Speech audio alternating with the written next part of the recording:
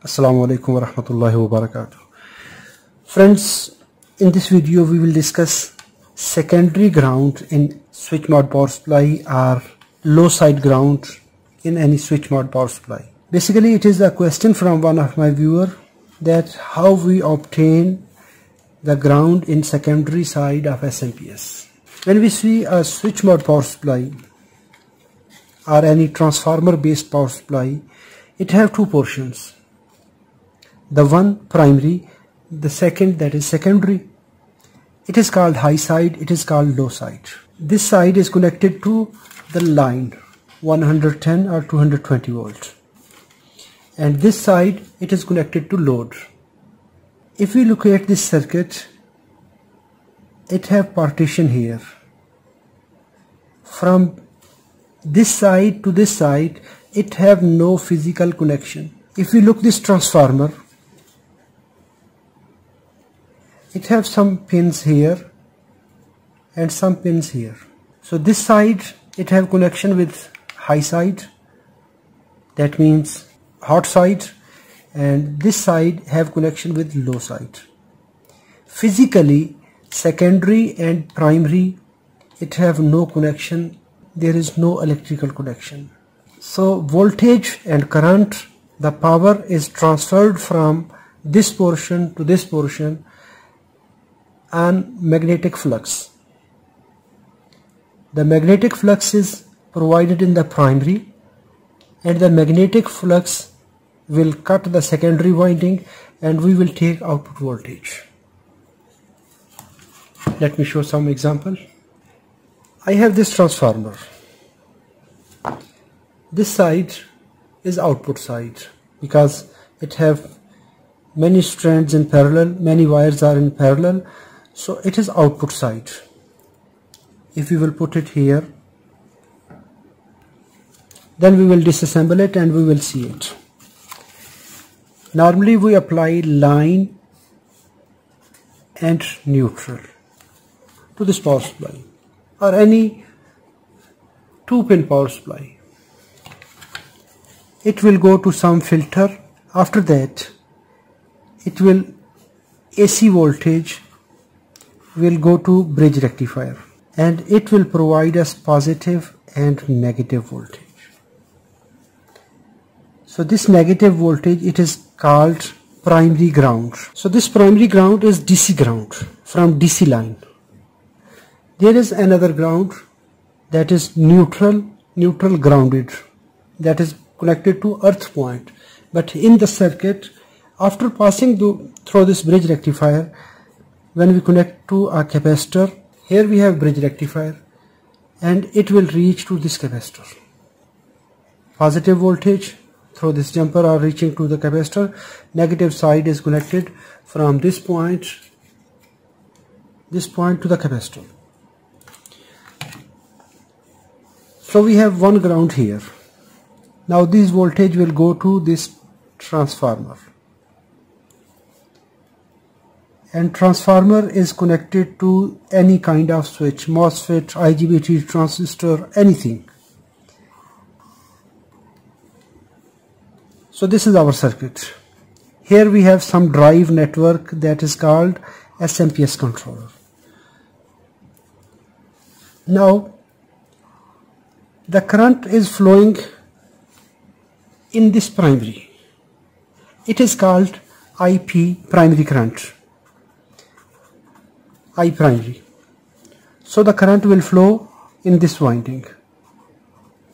It will generate a magnetic field because when in any conductor there will a current flow it will generate magnetic field in the winding in the wire electronic current from negative terminal to positive terminal and in sense of conventional current so current will flow to positive to negative in the both cases the theory will same the current have to flow it have just only one path.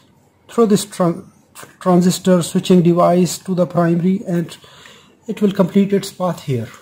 But in the secondary we have different type of windings. One winding we connect our diode and capacitor and we take output. I will make a simplified circuit. When we connect our load here so current will flow in this circuit. How? We are generating magnetic field here. This magnetic field will cut this winding and it will induce the voltage in the secondary because it is a rule. When we apply current it generates magnetic field. When a varying magnetic field will cut some winding it will generate voltage. So these voltage will become as a voltage source. So when it will connected to some load it will cause to flow a current. When we connect to this diode and this capacitor it will rectify the voltage and it will make DC voltage. If we don't connect this capacitor this diode and capacitor so the bidirectional current will flow in the load. Now we are making it unidirectional DC current. So it is the first ground here. One is high side second is low side. So this ground is called secondary ground. Secondary ground. So this winding is providing high side side and low side. Similar as in our power transformer we have phase or line our hot wire and we have a neutral wire. So that is low side. Now we have some other example for this winding. Sometime we have center tape winding. In this case one diode is connected here.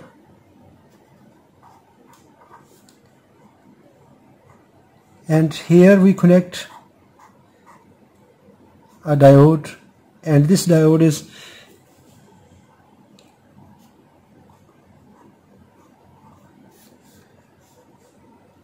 now our ground point this is 0 volt with respect to this with respect to this.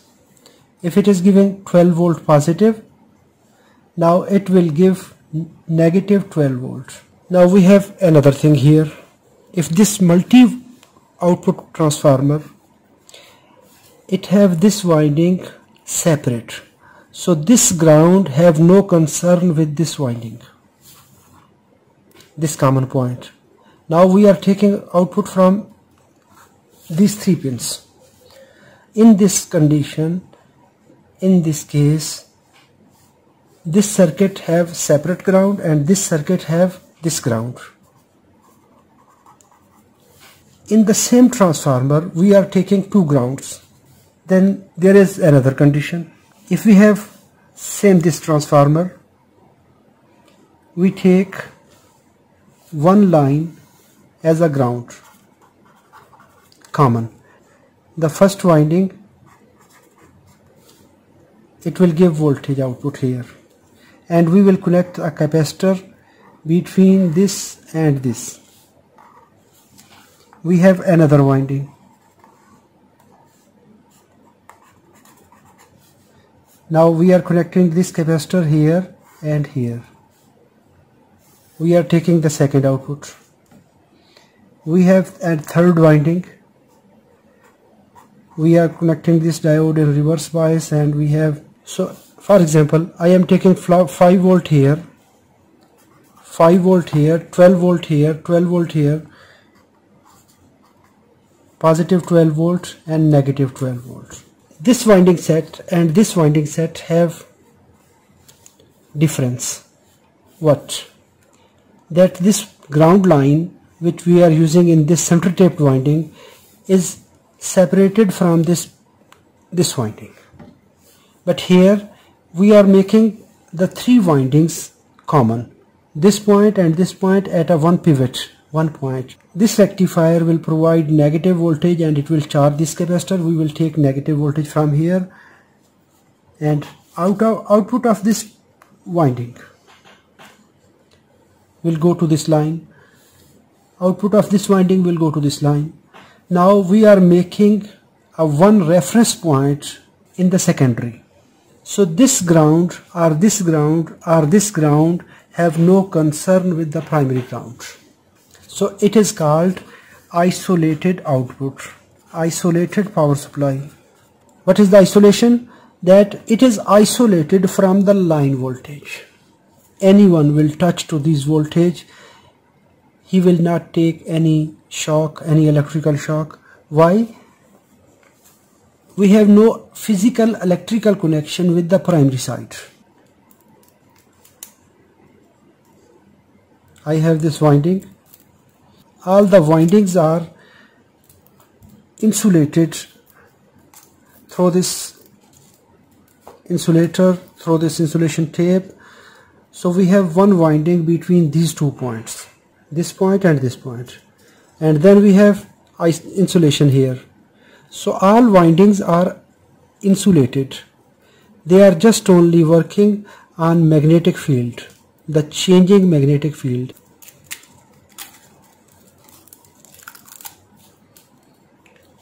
now we have this winding. That is here.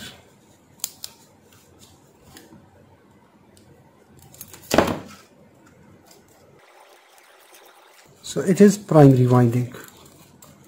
It have many turns here.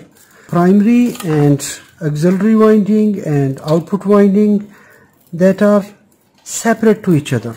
This winding is now insulated there was insulation between this wire and this wire. Now we have another insulation tape. We can see now. When I removed this tape so this winding the output winding is here. So all the windings are insulated. So it is called isolated power supply. We have another condition from this capacitor from this point from this point I will take this point so that these voltage are here.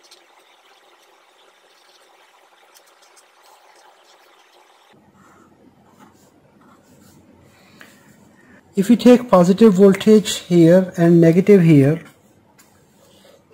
at this capacitor this is here and we connect a switching device here and we connect a switching IC here and we give this pulse to this choke this this inductor and we take output.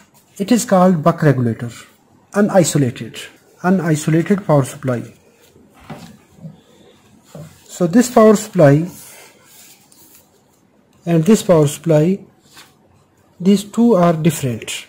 Here we are using the primary ground in the output but here the secondary ground is different the low side ground is isolated from the primary ground.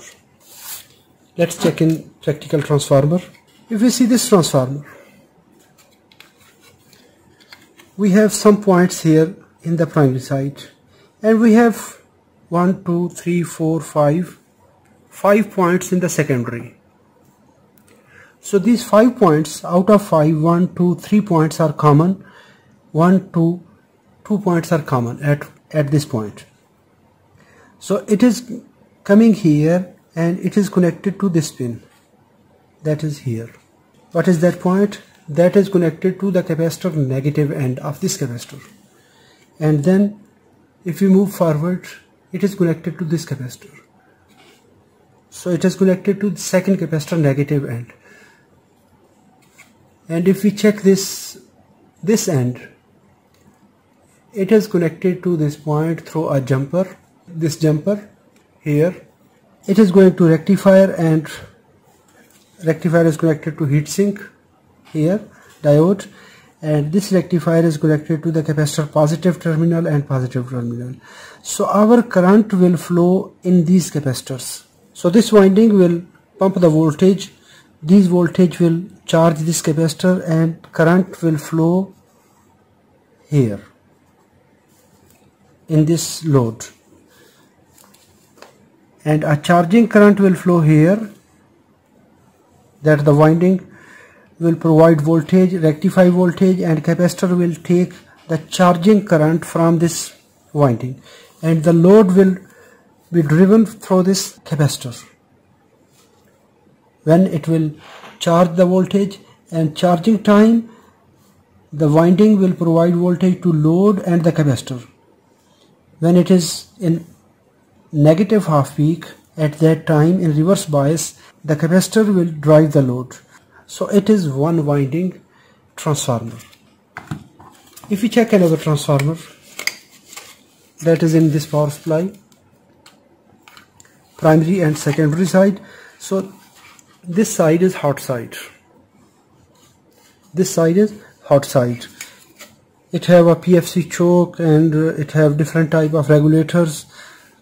It have a standby power supply it have the main power supply. So standby power supply have a single output. Here in this winding we can see it here. So the transformer winding is here. Here is just only one winding. But if we look this transformer so here we have one winding from this point to this point second winding to this point. So we have common point here. Winding is from this point to this and second winding is here. So we have two windings. And they are providing two outputs here in the output. So our common point will here. When the transformer is switching from primary to secondary the magnetic core and other all electronics generate noises. So these noises and the load noises are induction switching noises they generate a noise also in the secondary side. So this secondary ground noise so we have this this pin that is secondary ground. And here we have primary ground. Primary ground is here at this point of the bridge rectifier. It is connected to the negative side of this capacitor. So it is negative side. This ground, primary ground and secondary ground are coupled to each other through a class Y capacitor. So it will reduce, it will remove all the noises in the secondary so friends, I hope so. This video is informative. If it is informative, hit the like button. If you have any question, let me know in the comment box. Thanks for watching. Assalamu alaikum wa rahmatullahi wa barakatuh.